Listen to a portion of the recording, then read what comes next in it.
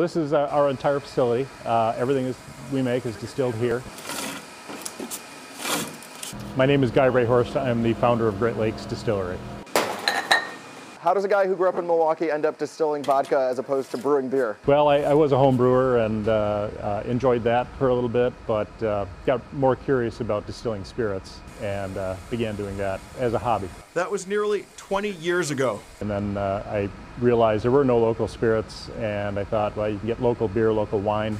Why not local spirits? And in 2004, Guy Rehorst started Great Lakes Distillery, making everything from vodka and gin to rum and brandy with local ingredients. We use Wisconsin grains in our vodka, in our uh, whiskeys. Um, we uh, try to do our spirits a little better. They're made to taste.